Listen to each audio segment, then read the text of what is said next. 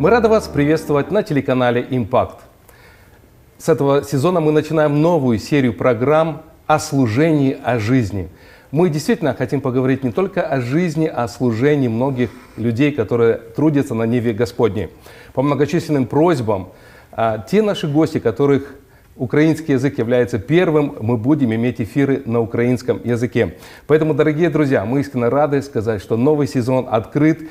И этот сезон, когда мы будем еще больше слышать свидетельств о славе Господа нашего Иисуса Христа. Сьогодні якраз тот ефір, який ми проведемо українською мовою. Е, Тому як кажуть, сідайте ближче і слухайте уважніше. Сьогодні ми маємо честь мати ефір. Віра Іванівна Деркач. Вітаємо вас! Слава Богу, вітаю, вітаю, Гена. Вітаю Коротенька візитка. Віра Іванівна Деркач. Вона була відповідальна за дитяче служіння. Вона була відповідальна за жіноче служіння. І це все на протязі десятків років. Більше 35 років вона в місіонерському служінні. З 2000 року вона переїхала до Сакрамента, а також відповідальна за жіноче служіння в Missionary Gospel Church, де є старший пастор Пав- Павло Гладиш. Мені дуже приємно, що сьогодні цей ефір буде з вами. Я вас знаю на протязі більше 20 років, завжди з захопленням слухаю ваші свідоцтва. І ви знаєте, такий великий Бог може використовувати таких слабих жінок для такої сильної духовної праці. Тому я хочу, щоб, як завжди, на всіх служіннях, де ви участвуєте, прозвучала слава нашому Господу через всі ці свідоцтва, через а, той шлях, який Бог вам вже дарував. І я хочу, щоб ви поділилися ще раз цими радощами, переживаннями і славою е, для, для нашого Господа. Перше питання завжди задаю нашим гостям: в якій сім'ї ви народились? Можете трохи за ваше життя розказати? Отак. Я дуже дякую Богові, що я дійсно народилася в християнській сім'ї. Я була четвертою дитиною, у нас всіх є сім, три брати, три сестри, і я посередині. Ось і мої батьки, я наскільки зараз вже тепер, бачачи, не бачачи, не маючи ніяких інститутів, як вони правильно виховували нас. Вони дозволяли те, що можна було не дозволяти, вони дозволяли і робили висновки якісь. Але саме головне, що вони нас водили в церкву в ті часи, коли не дозволялося це робити. Звідки ви родом? З Волині, Ага. з Луцька, виростала в Луцьку, народилася в селі. Але е, був такий час, коли я до свого я народилася. Е, мама знала за декілька років до мого народження, що я буду народжена. Це був такий не дуже приємний час для мами. Вона була в великій аварії. І ті часи, коли ще автобуси не ходили 50-ті роки, перевернулася машина грузова, де люди були, і її е, бортом повністю передавило її, відставили, що вона буде помирати. Тобто її відложили, так, так, щоб вона була хай вже, помирає. Да, вона була як а емерженці тоді лікарі, як далеко було щось комусь, які дороги ще тоді були. Хто приїде і, тоді? І коли, і коли підняли ту машину, взяли маму, подивилися, вона не, не давала на життя. Вона була вже синіла, кров'ю стікала. Передали татові, щоб він збирав речі, приїхав, забрав її в лікарню. Там недалеко була лікарня за декілька кілометрів, що він забрав її вже як неживу. Но в цей час дивний Бог Амінь. стає на поріг муж Божий і говорить: Син Іван, твоя дружина буде жити. Через рік вона мені подасть їсти, а через декілька ро- років народиться донечка, яку ти повинен посвятити для мене. Слава Господу. Це дійсно велика слава Бога. Я виростала, я дякую моєму Богові, що мої батьки. Я була не така сильно послушна, але мене ніколи не наказували. Ну, там могли щось якісь Та мораль ви ж сказати. дитиною були. Ну, то все рівно я щось робила не те, що можна зробити. Але батьки правильно виховували нас. Вони завжди говорили з нами. Вони не бачили в нас е, таких речей, якими воно було можливо на сьогоднішній день. Ми бачимо в других дітях, якісь моралі висказувати. От вони вміли підходити. Я дякую Богові, що за, за моїх батьків в ті часи сам, напевно, Дух Святий, це правда, вів і навчав. Дякую вам за те, що ви поділилися таким свідоцтвом. Коли вам було 14, це змінило ваше життя. Ви прийняли дуже серйозне рішення. Розкажіть про це. Ой, тоді це було цікавий час. Ми ходили в церкву, нам було в церкву ходити більше як 5 кілометрів в неділю. І ми Це ходили, годину? Да, і ми ходили в церкву кожну неділю. І мало того, якщо коли мама не прийде в церкву, я повинна або хтось із дітей повинен сказати, який дядя проповідав, який дідусь проповідав, що проповідав. Мама завжди запитувала, хто проповідував. Але в ті часи нас не було таких можливостей, були радіопередачі. І як хто знає, ти жили, жили 50-60 роки. Це були часи, коли ми всі прислуховувалися радіопередачі. Ярла Песті в'їв, що тоді Зінчик не в'їв. Ярла Песті, саме більше в'їв він. І я почула. Тоді всі прислуховувались, ми чекали цих радіо, ми знали години, коли вони йдуть. І я почула один раз свідчення Ярла Пєсті, як він говорив за свою доньку, що його донька, вони жили в Швейцарії той, той час, його донька виросла, вже була дорослою і вибрала поїхати в другу країну, це була Африка, і В Африку. працювати з дітьми в ті часи. И він так сказав, каже, моя дочь имеет все такие хорошие здесь достояния и учиться, и, и жить в хорошей стране. Она вибрала страну, где нужно трудиться, где таких не було удобств. І коли я це почула, мене як стріла пронизла. Господи, що ж це таке? Поїхати, бути місіонером. Я такого вже не чула ніколи. Як це добре, невже це я можу? І вона це насіння впало в моє серце. Господь торкнувся вашого серця. Воно впало в моє серце. Е, Тоді ми ж ще не розуміли, що таке місіонерство, Ну, що таке не недільна говорили. школа, що таке оце. Це тільки починалося е, пробудження. Розкажіть, будь ласка, ви переїжджаєте у Луцьк і е, з самого юності, це 15-16 років, вас вже запрошують в недільну школу. Що це було? Я була дуже активна. Я завжди в церквах У розказувала. кого ви взяли? У тата, у мами? У кого? А- напевно, мама була дуже скромна. Тато в мене був Ага. такий. Тато в мене був лідер такий, знаєте, я напевно більшість. А може, просто сам Господь ще її додавав. Я ніколи не боялася мікрофона, я ніколи не боялася людей.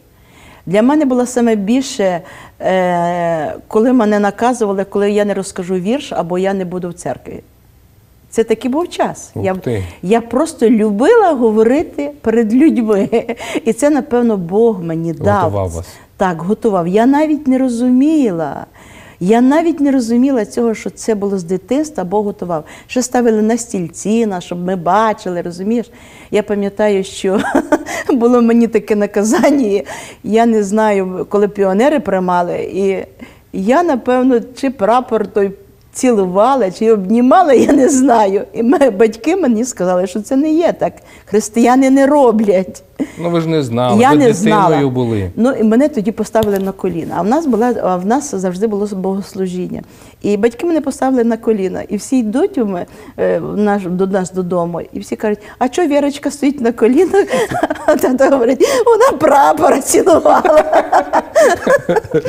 Для мене таке було наказання, що я, я не розуміла того. Я потім, ясна річ, що я осознала більше цього всього. Я на колінах стояла, і мені тоді тоді не дали навіть розказати вірша, бо я була наказана. О, як бачите, як вас. Це мені було наказання. А потім, коли запросили в недільну школу, от була недільна школа, що це було? Е, В нас у селі не було, ми працювали тоді ще не дозволяли, коли я поїхала до міста. Уже були е, в місті, вже були сім'ї молоді і були діти. Так само приходили в церкву діти, але так як такої об'явити, що недільна школа була, так ніхто не об'являв. Ніхто з ними не займався. Давайте Ніхто так. не займався. Були такі сестри, що хотіли займатися, але і боялися, тому що переслідували, дуже переслідували. Мені не було ще 17 років, як мені Господь просто. Я прийняла хрещення е, вночі. Мені пастор Рихлюк, Володя давав вночі хрещення. Ваш був пастор Володимир Рихлюк. Рихлюк. Це, в був- нього син у нас з Сакрамента, Олександр це, так, це унікальний був пастор. Я такого пастора не зустрічаю. Як ви його запомнили? Яким? Це людина, яка вміла читати е, життя по очах, по настрою. Він тебе, на тебе може подивитися І після служіння в нього завжди був час до молодих підійти, до старших, до дітей. Він, у нас була дуже велика церква. У нас на той час вже нараховувалося до 500, до 600 тисяч. е, е, 500-600 членів церкви. Ну, ну, ну, молоді тільки. Тільки молоді. Да, в нас же була 600 велика чоловік це- молоді. Ми збиралися разом із баптистами. Ось, і це був такий гарний час, що ми е, е, вони виходять, ви вже толпа нас стоїть, заходите. І всі ми стояли один біля одного. Тобто одне було служіння, потім Є. друга церква Дуже і в одному да, зданні. Так, вже тоді, вже тоді, а молодіжні всі були по, по хатах. По хатах, де в кого велика хата, то запрошували. Можу уявити, скільки молодіжне, це 3-4 кімнати набивалося людей, як сільотки. Ми всі стояли отак. Стіни тікли, в кого були там трафарети колись. Це був такий час, ну ми ніколи не пропускали молодіжне. Віра Іванівна, розкажіть, будь ласка, з дітьми, наскільки я розумію, от я згадую своє дитинство, наш, нас батьки вони йшли до церкви, по дорозі там заходили до якоїсь хати, залишали діточок, там була недільна школа, а вони далі йшли в церкву, бо не дозволяли дорослим брати дітей у церкву. На, коли йшли з церкви, вони нас забирали, ми йшли додому. А, якщо вас у той час ну, побачили з дітьми, що вам могло бути за це? О, судити. Могли, Могли судити? Звісно, ясна річ. Тоді була стаття, хто працює, активістів, за, те- за активними людьми дуже слідкували. Як так Бог вас хранив? Просто молода була? Е, я, по-перше, не осознавала того. Це, мій розум не приймав того, що може бути статися якась така ситуація страшна. У мене була ревність, Угу. ревність і все. І я займалася з дітьми у великий. В... Тоді не можна було казати, що ти займаєшся з дітьми. Ми читали Біблію. У мене ще своєї Біблії тоді не було. І ми займалися в великій сім'ї, де було дуже багато дітей. І я пам'ятаю, коли мене дійсно міліція застала, я була в великій сім'ї. Між іншим, вони живуть в Америці, зараз та сім'я, і їхні вже внуки такі служіння мають. Вашингтон, Орегон. Я така дякую Богові. Я не, не знаю, чи називати цю фамілію, але це дуже поважні люди. В них була велика, Слухайте, називайте. велика, велика поліводи. Поліводи? Да. Дуже приємно. Да. І вони мали велику родину, і, і дружина це, це унікальна жінка була. Вона запросила, щоб всі діти, дуже багато дітей було. Я не знаю, до 50 дітей збиралося, Ого, навіть більше.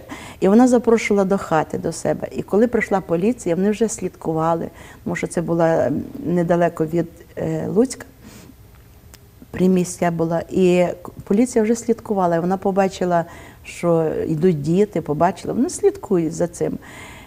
І коли вони прийшли, а ми там тихенько співали чи говорили, ось мене попередили, що там я вже тихенько вже мене співали. І коли запитали в цієї жінки, у мами, чого так багато взуття, тому що роззувалися, всі в хату ходили.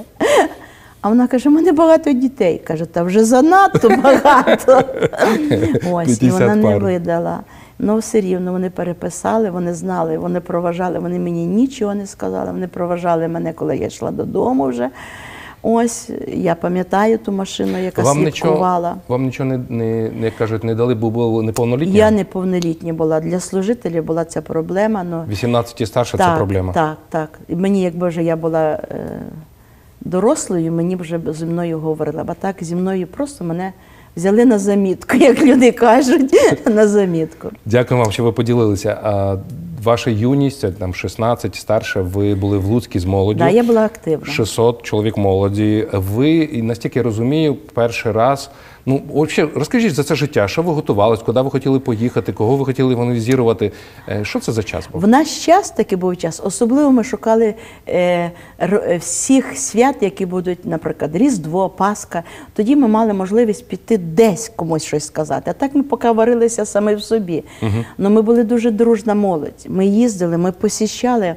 Дуже багато міст, ми посіщали друг- дуже багато церков, були активні, що проповідувати е, мені, як дівчині, не можна було. То я розказувала завжди вірші. Я перед віршом можу щось сказати. Вступ якийсь. Це було такий, такий час, і це було нормально.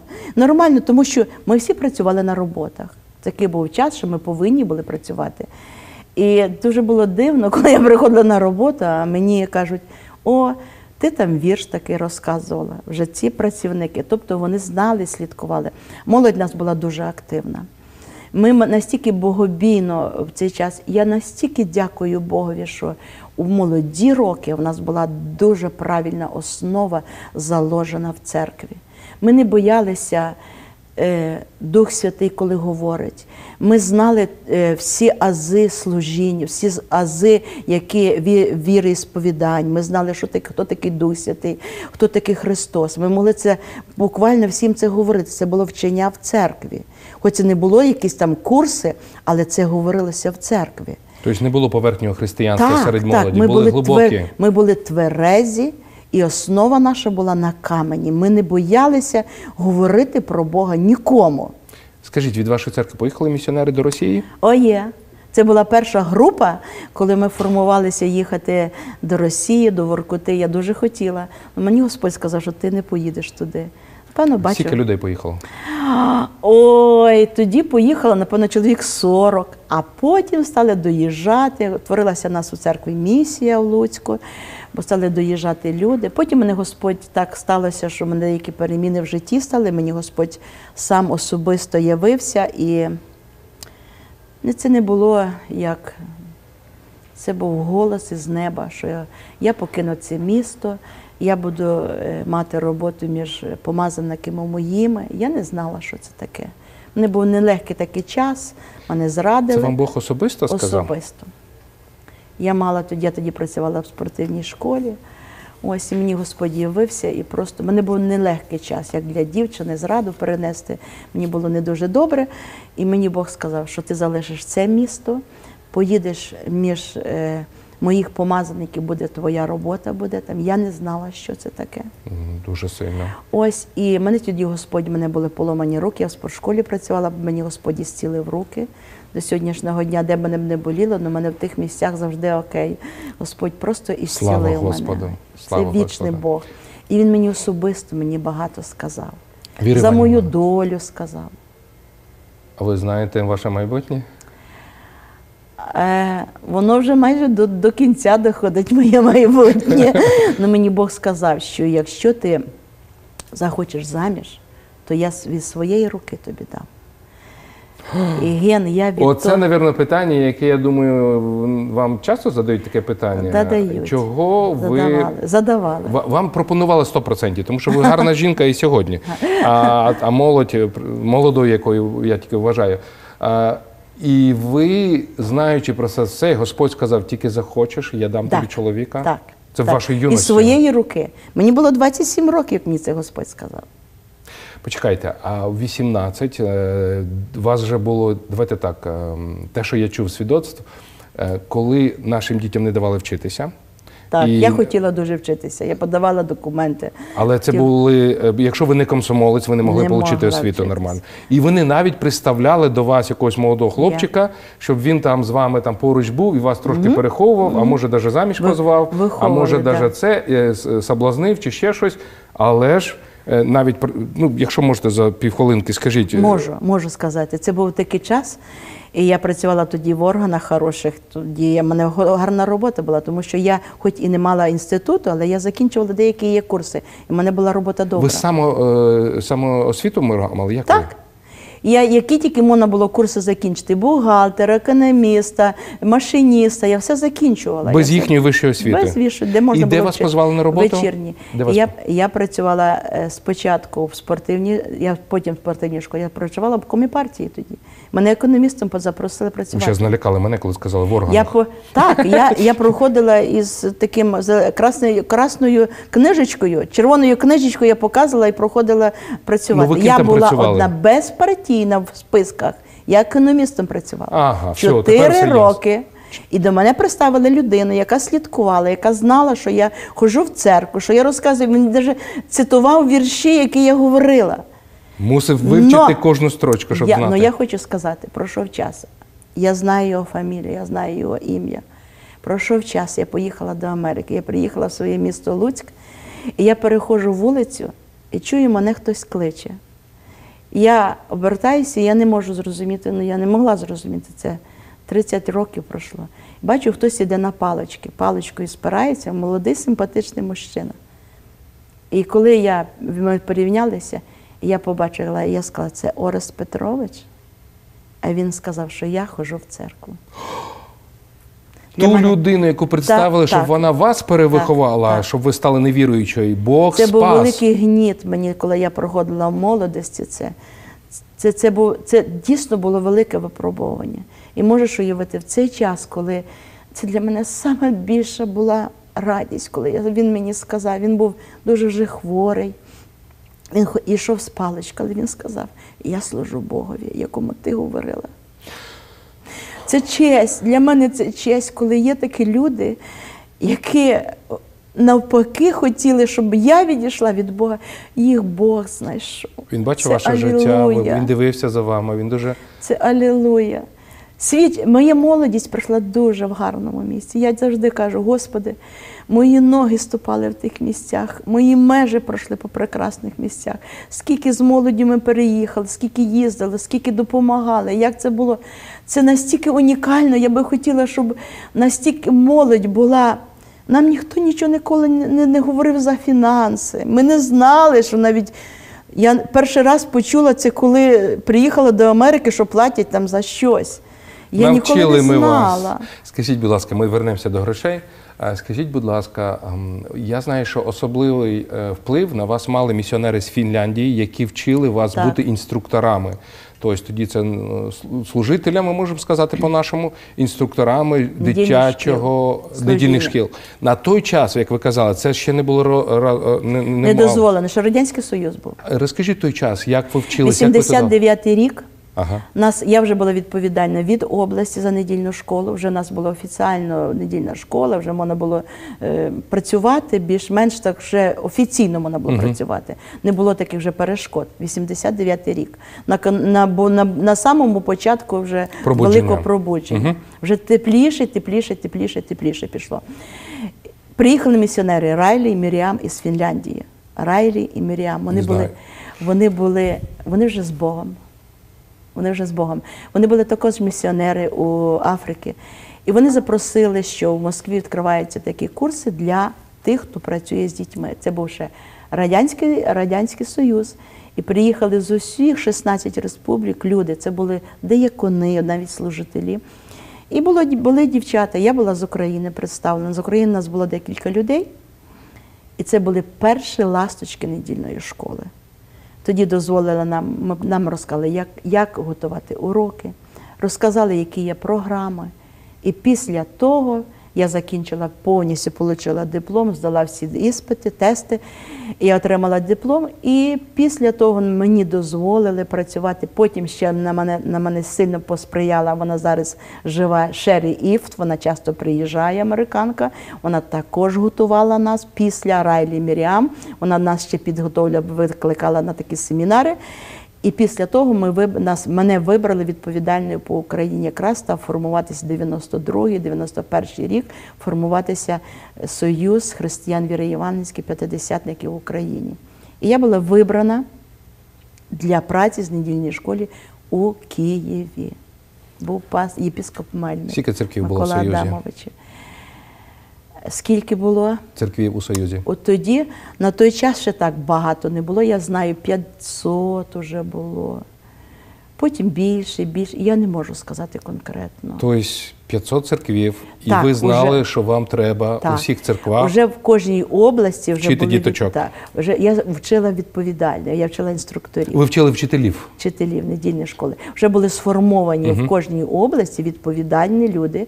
І ми збиралися. І в нас вже створилася такий, така рада відповідальних, які відповідали за недільну школу. До 95-го року ми мали такі семінари, мали зустрічі, мали.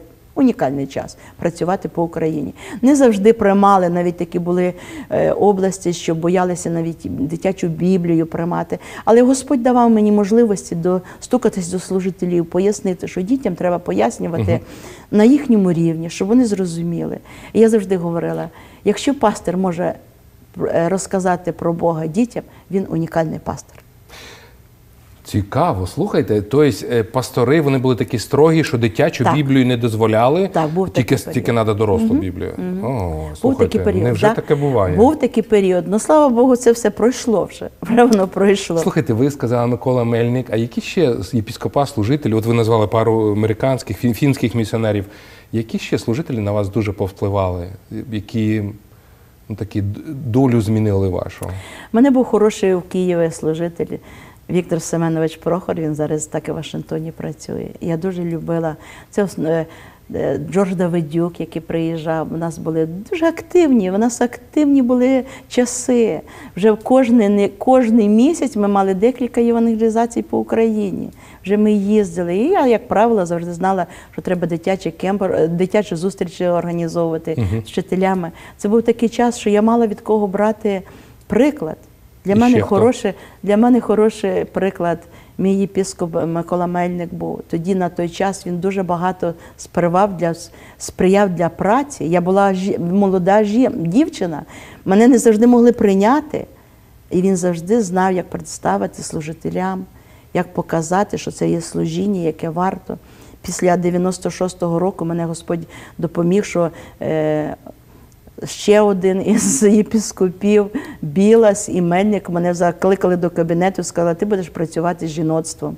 Я тоді взагалі нічого не знала, ніяких книжок не було, ніяких, ніяких не було методичок, щоб працювати. Я не знала, що це таке. Та я відказувалася від цього. Скажіть, от наступне питання якраз воно підходить. Тоді ви вже затронули це питання, не було ніякої зарплати. Тобто людям не казали, що за це ще гроші платять. ви Ніхто не сприйняли це як духовну справу. Е, Наскільки я чув, що е, все, що ви получали, це ваш брат, який переїхав до Чикаго, і він вам кожен місяць підтримував. Так, мене мені 50 платили. доларів так. на Це були великі гроші. Я мала з ними роз'їжджати кругом. Але прийшов час 50 доларів в місяць. Прийшов час, ваш брат зібрав вам 4 тисячі доларів для того, щоб ви купили собі квартиру у Києві. За 4 тисячі тоді ще можна було купити. Можна. Але ви Це не цікав... купили Це квартиру. цікавий момент. Ви не купили квартиру. Ні. Куди пішли гроші? Ой, Прийдеться це сказати. цікаво. Прийдеться сказати. я знаю, що Ваня, вибач, ти навіть він знав, ясна річ, що знав за ці речі. Я така була фанатка всяких книжок, які виходили, де особливо посібники для дитячого служіння. У нас ще в Києві не було тоді так а де вони були? Е, Санкт-Петербург, Москва. Ми ще звідти перевозили книжки. І я коли отримала ці фінанси. Ой, в мене ж така була подружка із, із Молдови, з Бєльців Маша. І ми з нею завжди їздили на семінари. І коли ми прийшли, я прийшла, прийшла подивилася, які є посібники для вчителів, для дітей. Ой, мене загоріли, мене очі розбіглися. Думаю, це ж нашим вчителям треба. Я відповідальна. У нас на Україні такого немає. І я всі вас- ці фінанси віддала на книжки. Це бо це якби хто побачив, як ми грузи, як нам допомагали грузити це вагони. Ми вагони. Ми два купе загрузили книжками. Два купе. купе. Ага. Два купе. Не це не, не, не, не, не, не, не тільки повністю купе, чотири там полки. Ну, там тисячі книжок. Загрузили Тисячі книжками. У Києві там 40 хвилин стояв поїзд, бо він йшов на Молдову, там же ж мене Маша теж їхала. Треба вспіти розгрузити. Треба було е, Віктор Семенович зібрав студентів. Вже тоді було біблійний інститут. Він зібрав студентів, щоб нам можна було розгрузити книжки. І ми, ми машину не отримали. Це грузова машина було книжок. Я дякую Богу, як я зайшла в склад, як подивилась ті книжки. Мене таке торжество було, що я маю можливість роздати людям ці книжки. І я їх роздавала. Я дякую Богові. І коли я приїхала до Америки і зустрічала служителів, які працювали тоді, каже, ми пам'ятаємо, як це послужило для нам благословінням. Це перші книжки, ніколи Перші їх не було. Ні, Люди не мали літератури, вони не знали, як працювати. Фланелі, І ви книжки, і ми це все робили. і фланель, Біблія на фланелі, Так, да, так, виходить? Так, так. Це були перші ласточки того всього. Люди отримали з таким задоволенням, з таким всім. Це було це такого ще не було тоді. Якесь таке диво було, чудо було. Це перший раз, коли люд, діти бачили фланель красиво, яскраво. Вони не могли відійти. Це, це було такий був час, що е, я, коли в Києві Господь так дозволив, що вже була свобода. Я працювала багато з чорнобильськими дітьми. Я приносила фланель дітям. Діти просто цілували ці фігурки. Вони не розуміли, що це таке. Там Ісус Христос, там дітки були, там різна фланельна Біблія на фланелі. Це цікаво. Зараз ми її не дивимося і не знаємо, тому що вона нам вже не цікава. А тоді це були перші перлинки. І це було дуже і дуже цінно мати для церкви. Вона була не, не ми закупляли трошки. Одна її. на церкву. Так, так, так, так. І ми Скажіть, берегли. будь ласка, ви затронули чорнобильські діти. А тоді Зінченко вам допомагав? З ким ви працювали? Дуже багато з Канади служителів, які допомагали. Я зараз не пам'ятаю навіть фамілії. але один із служителів це був Іван Зінченко, який в нас у Києві в нього була радіопередача Жива Надія. І тоді туди всі приходила кореспонденція.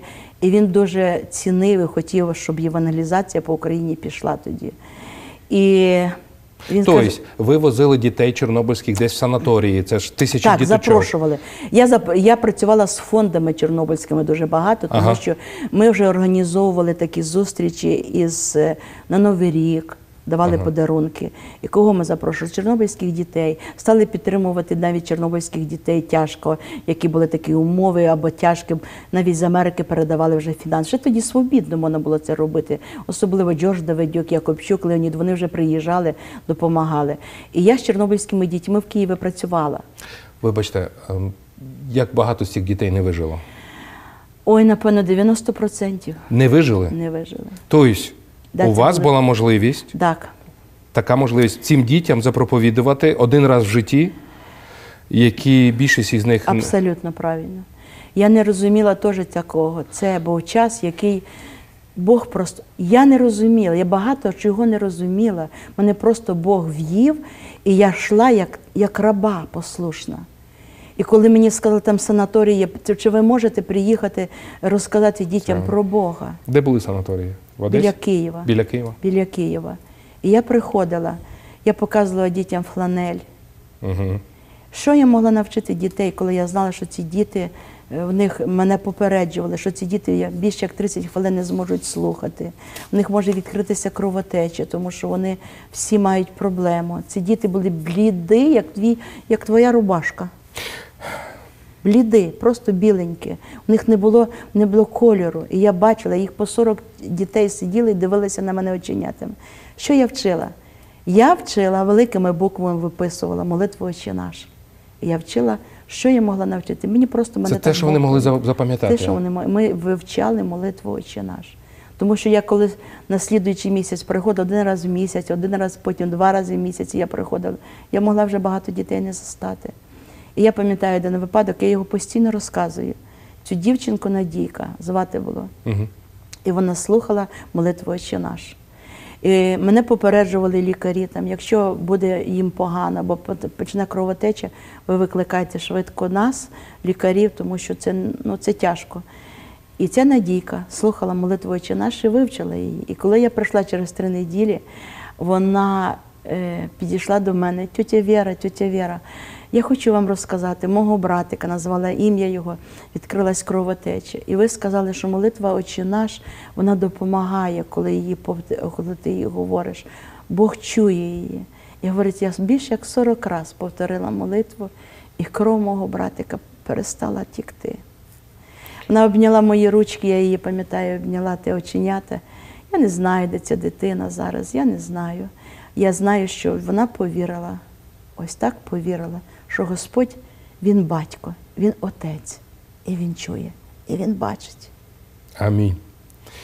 Дорогі друзі, я сьогодні маю ефір е, з місіонеркою, а також з відповідальною за багато служіннів. Це дитяче служіння, жіноче служіння на протязі десятків років е, П'ятидесятницького союзу е, України.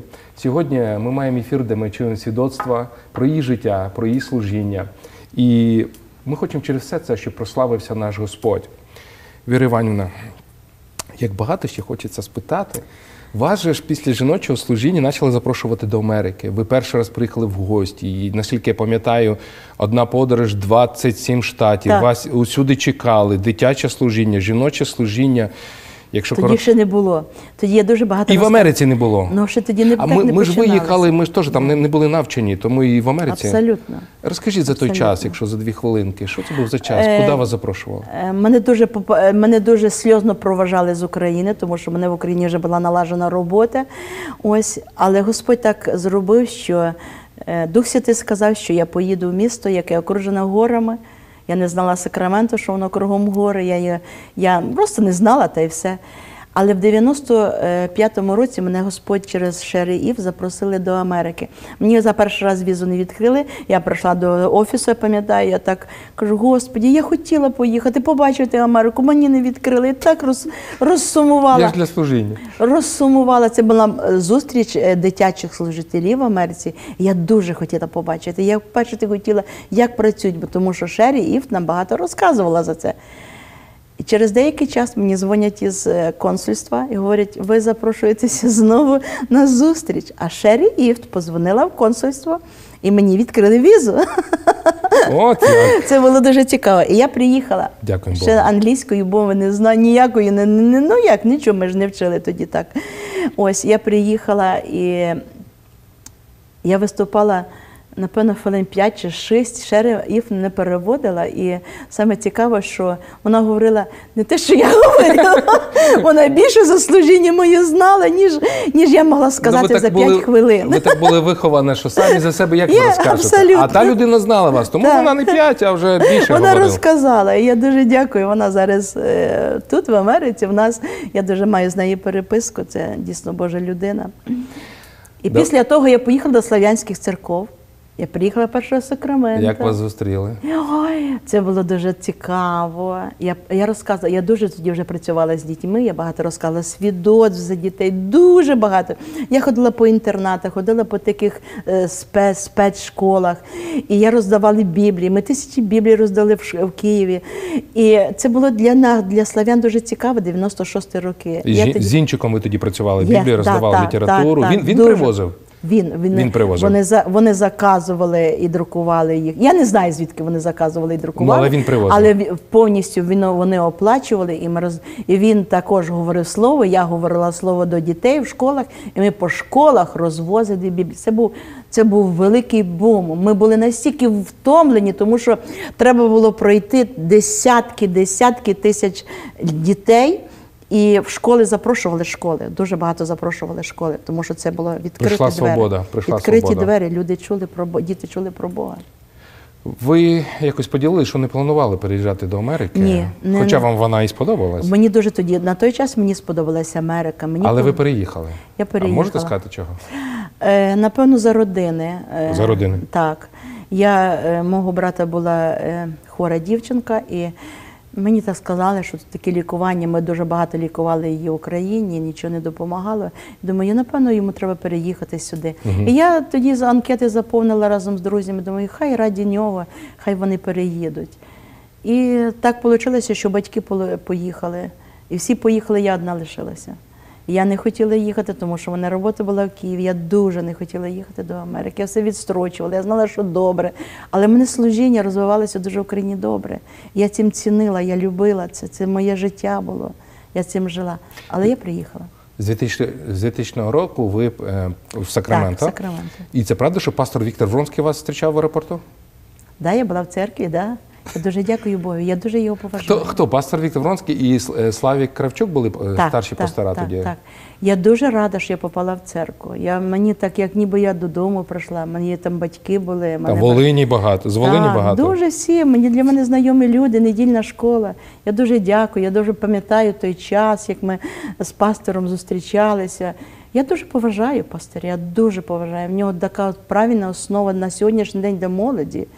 І така тверезість. І дай Боже, щоб ми завжди були основані на правильній основі, знали, куди ми йдемо і що ми робимо. Через дві неділі ви починаєте вже працювати, і вас Так. запросили куди? А мене запросили в загальноосвітню школу, яка е, працювала вже в Вифанії церкві. Це Сергій Сорока, да, запросив вас? Тоді ще був Еммануїл. Еммануїл Прокопенко. Так, так. Тоді Ага. ще був Лащук, був Філіп. Ой, тоді був цікавий час. І ви там уже як full-time, повний так, час працювали так, в школі. я вже працювала, викладала до років Біблію, потім е, е, етику говорила для дітей. Ага. Ось, і я познайомилася з дітьми. Я там познайомилася з усіми, з поганими, з хорошими. Там американські були вчителі, вже працювали, тому що це загальноосвітня школа була. Ага. Потім Сергій Сорока прийшов. Ну і потім почалися великі переміни в, е, в школах. Стала вона більш така прогресивна, більш така професіональна. Далі, далі, далі пішла, як ми вже бачимо, що на сьогоднішній день. Лариса Гончар, да, Так, так. Ми теж з нею говорили, я сказала, Лариса, тобі треба переходити з церкви до школи. Я пам'ятаю це місце, де Ви ми на неї впливали. Сережа Бубела був, Ларіса була. І ми говорили, вона дуже, я знала, що вона така вже в нас. Ми, ми працювали в понедільній школі, ми вже зустрічалися тут в Америці, вже знали один одного добре.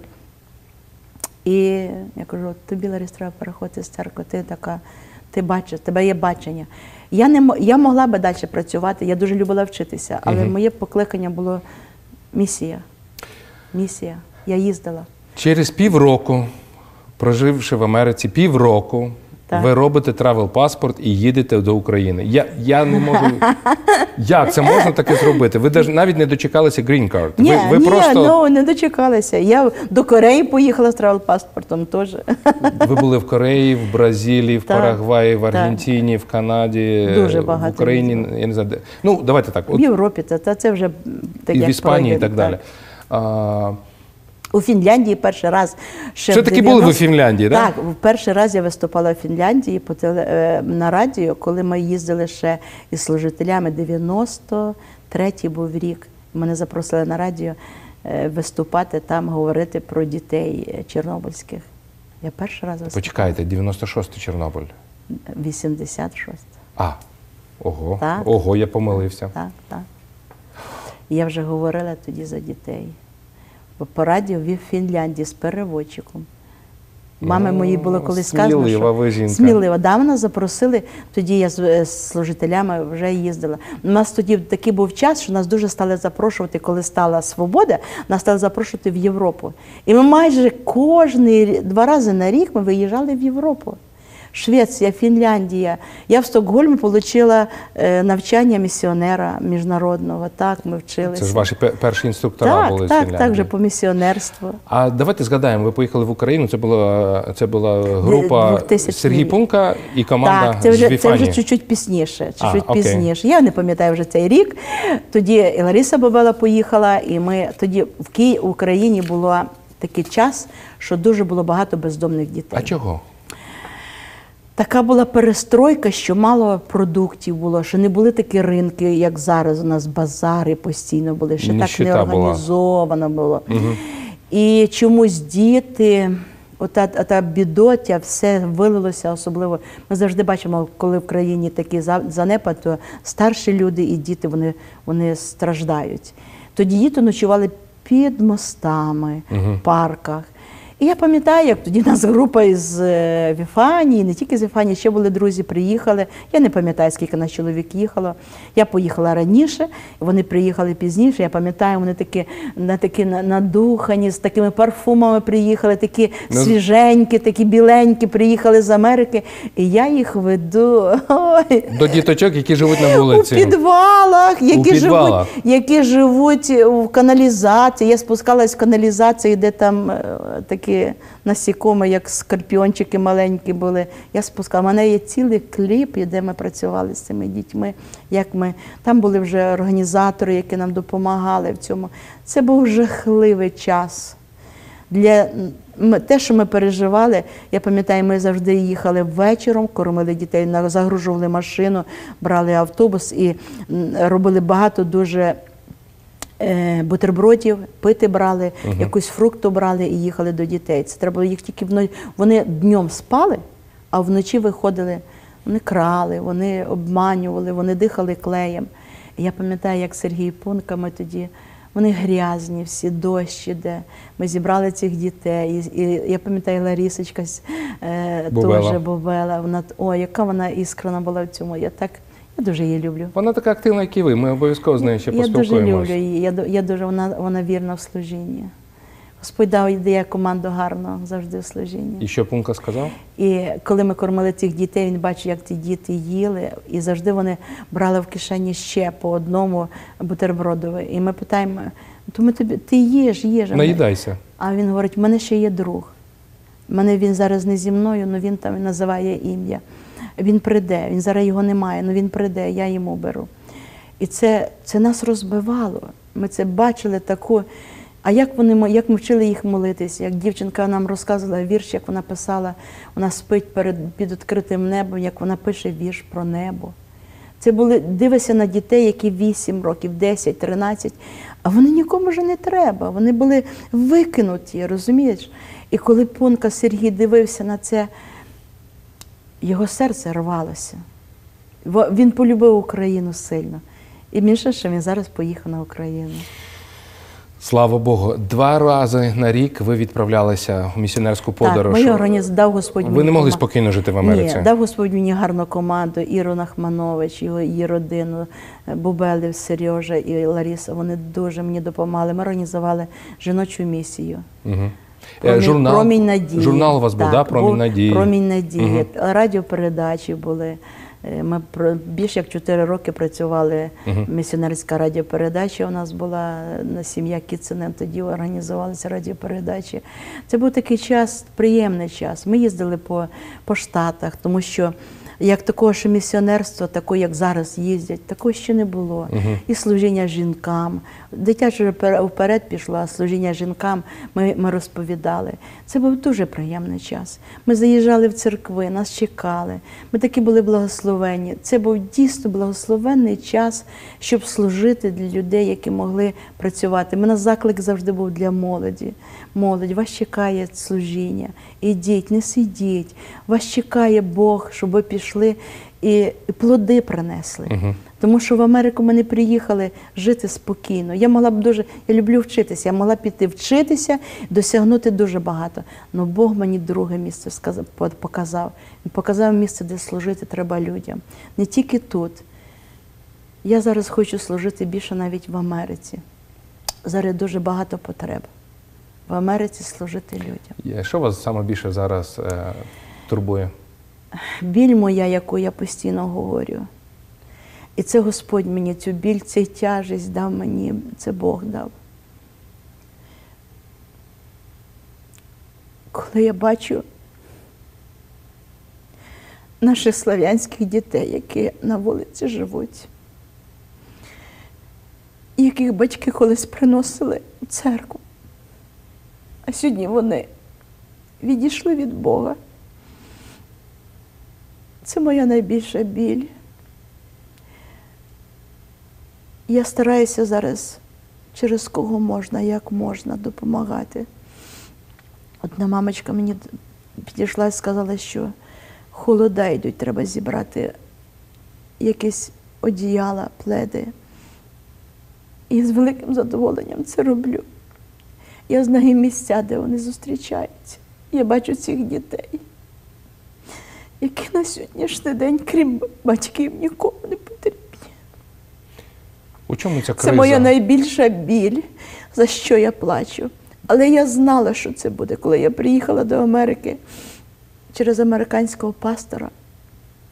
Мене було, мені було свідоцтво від Духа Святого. Інна Ясинська тоді була переводила мені цю промову, що буде багато слав'янських дітей викинутих. Диявол багато буде губити. Станьте у проломі за цих дітей. Ще тоді не знали, що таке наркотик.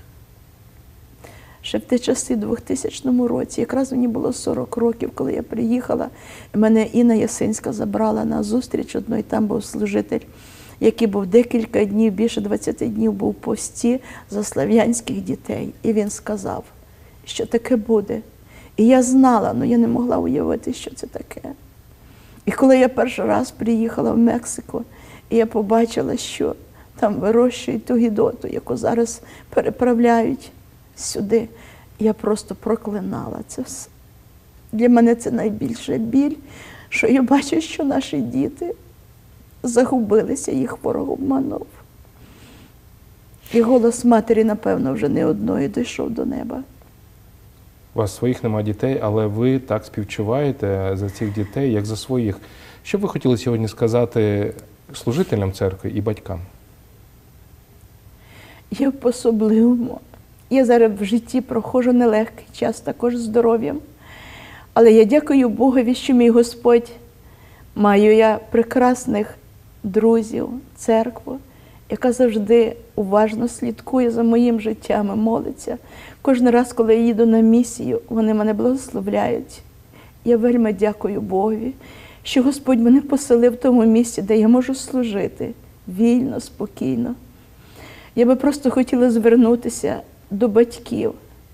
Любі батьки, хоч на сьогоднішній день ваші сльози, напевно, вже течуть по асфальті, тому що дійсно, скільки ви проливаєте за своїх дітей, моє серце тужить і томиться. Я теж хочу бачити їх спасеними. Я звертаюся в церкви, моліться за таких дітей. Можливо, у вашій сім'ї все окей, все гаразд. Але є сім'ї, які несуть біль. І я одна із тих, що маю біль за цих дітей. Я хочу і я вірю. Мені Дух Святий сказав, що я буду бачити, як вони будуть каятися, і що вони принесуть плід більше мене. Я дуже раділа, коли я це почула, що ці діти, які сьогодні нікому не потрібні, крім рідні, вони принесуть плід для Бога і більше мене. Для мене це честь було слухати від Бога ці слова. Моліться за цих дітей. Це на сьогоднішній день великий бич, який дав Господь, який дав диявол для наших слав'янських сімей. Я не хочу, щоб наші діти там спали. У нас є достатньо їжі, у нас є достатньо місць в домі, щоб вони були, і в церкві, щоб їх прийняти. Ну вони обмануті. Їх вибір недобрий, але Господь може поміняти і змінити їх. Якщо наша, наш голос, наша молитва буде настільки сильною, настільки щирою, і я вірю, що цей час прийде, що ці діти побіжать до престолу Божого. Я в це сильно і сильно вірю. Слава Господу! Дуже вам дякуємо за цю промову, материнську промову. Я знаю, що ваше серце так переживає за цих діточок там в Україні, коли ви йдете. Це сироти, це дітки, які в спеціальних школах вчаться, це жінки, які попали в тюрму, тому що їхнє життя таке було. Я чув одне свідоцтво. Якщо я розумію, що за обліком часу ми не можемо так багато розказати свідоцтв, але повірте, шановні друзі, що це декілька ще можна програм записати, саме про свідоцтво. Я хочу, щоб ви згадали, колись був час, це була жіноча тюрма. Наскільки я пам'ятаю, поправте мене, якщо я помиляюсь, десь було більше двох тисяч жінок і 700 прийняли, Прийняли хрещення. хрещення. 700 жінок, Жінок із прийняли. 2000 прийняли хрещення. Тобто 11 років Господь нам дав працювати. Ми з Ірою Нахманович, Ларісочкою їздили в ці, черн... ці тюрми на Україні. І ми кожен раз боялися говорити, що ми з Америки, тому що не дозволяли іноземцям. Ми мали українські посвідчення. І одного разу ми зайшли, нас директор не дозволяли фото робити. У нас дуже багато є зйомок. Дозв- якось не знаю, як вона це робила. Це Трошки знімала. Знімала, фотографувала. Іноді нам фото давали, а зйомки не дуже. І я пам'ятаю, нас одного разу е, директор колонії закликав, після вашого виступу зайдете до нас. Ми з Ірою похололи, переглянулися там і кажемо, так, нас, напевно, розкусили, що ми з Америки, нам заборонять приїжджати.